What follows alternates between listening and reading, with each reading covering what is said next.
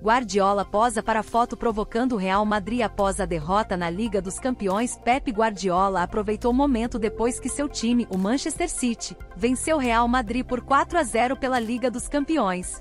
Guardiola fez o gesto levantando quatro dedos, simbolizando os gols marcados contra o Real. O técnico posou para a foto enquanto comemorava a classificação para a final. O recorde foi divulgado por Perry Guardiola, irmão do comandante do Manchester City. Maurício Macri, ex-presidente da Argentina, participou da comemoração. No entanto, ele não conseguiu evitar a repercussão da provocação.